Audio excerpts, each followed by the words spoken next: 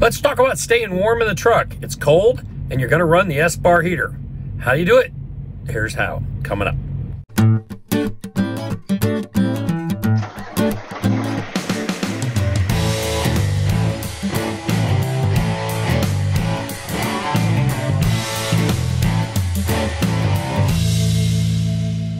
The first step, your key must be in the off position. That is correct. The truck must be off.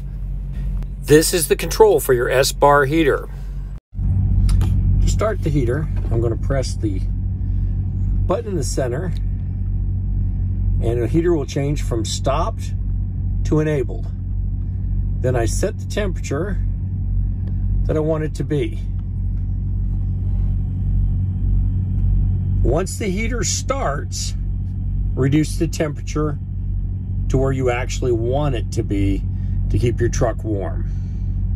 This is where the heat is coming out and you will hear it just like this. This number counting down is how long the heater will run. It's 10 hours. This green light tells you everything is fine and the heater is operating. To turn the heater off, simply press the button again so it says stopped, or start the truck. Starting the truck will also disable the heater. It is important to note that these controls do not do anything for the Espar heater. If the truck is running and the rear heater is turned on, but that is the truck's engine heater and not the Espar bunk heater. Be sure to like, subscribe, and follow, and stay warm.